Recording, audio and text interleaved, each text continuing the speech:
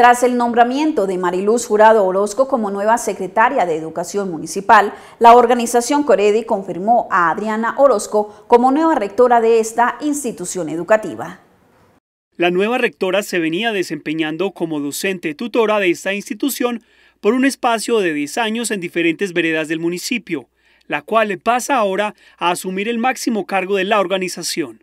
Eh, muy contenta de asumir este nuevo reto, sé que es muy difícil, que es complejo, pero con la ayuda de Dios todo se puede. Tengo un buen equipo de trabajo donde en este momento están laborando, se desplazaron hoy a todas las veredas que nosotros tenemos. Yo pienso que ante todo pues la calidad humana, el respeto, la motivación, eh, pienso que si nos vamos con estas con buenas energías, todo nos saldrá bien, con muy, bueno, con muy buena actitud en este año electivo 2020.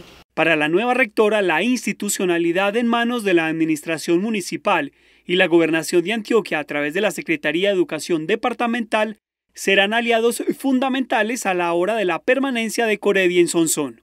Pues ante todo agradecerle a la gobernación de Antioquia, Aníbal Gaviria, que fue el que agilizó el proceso para que entráramos rápido, igual que con el calendario eh, oficial, ¿cierto? Entonces yo pienso que desde ahí empezamos como bien.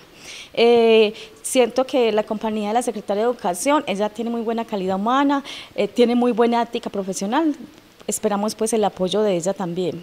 Para Adriana Orozco, uno de los grandes retos que tendrá a su cargo dentro de la organización es la aplicación de posprimarias, lo que implicaría para Coredi dejar esas veredas.